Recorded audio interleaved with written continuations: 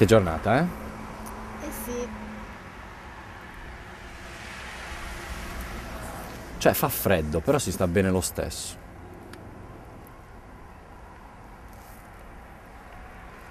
Quando è che hai scelto di fare castità?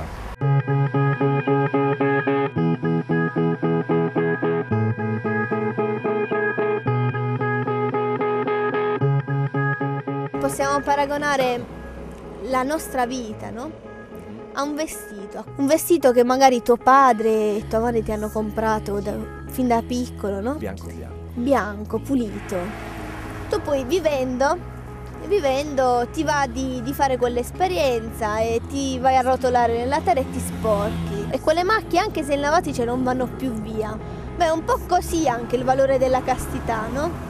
Nel momento in cui ti accorgi che hai quasi sprecato un dono che ti era stato fatto, ti accorgi che la macchia è rimasta. Però la cosa bella poi della religione, dell'amore di Dio, e che pone a tutto un rimedio, cioè stando con Gesù tutto viene fatto nuovo.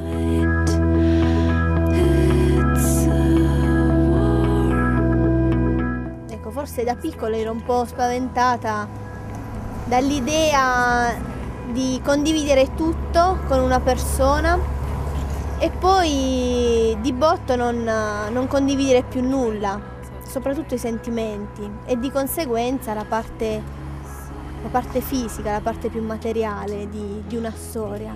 La parte più bella della vita è quando tu senti la libertà anche all'interno di, di una, di una norma, di un valore, no? Vedi il valore come qualcosa che ti orienta, no? non ti incatena ma ti fa sentire più libera, no? come un po' quei gabbiani.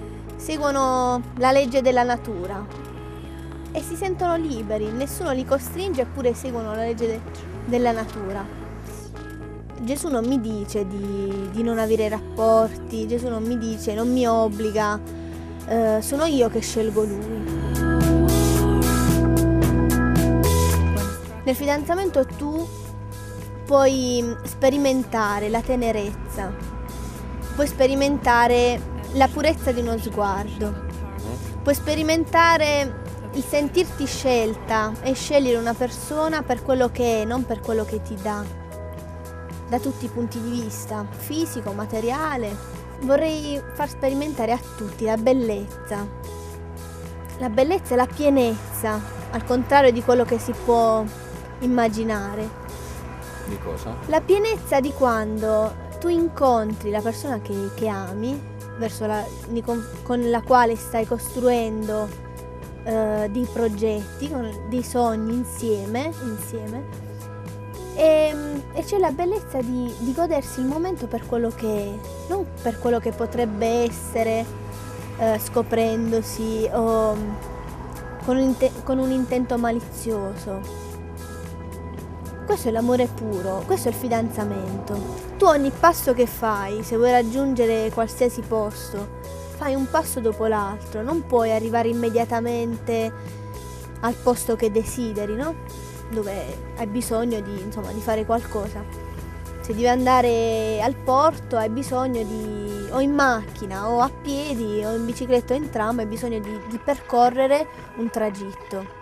È la stessa cosa in qualsiasi aspetto della nostra vita. Non puoi arrivare immediatamente da qualche parte, devi decidere di metterti in un cammino. E la cosa bella è, e affascinante è vivere ogni passo che fai come già il traguardo. E quando ti sposi? A breve. Presto, quando Dio vuole. Pure, decide, ma decide anche lui, ma fa gli inviti. No, te, te lo fa sentire nel Sì. cuore. Mm. Decide tutto.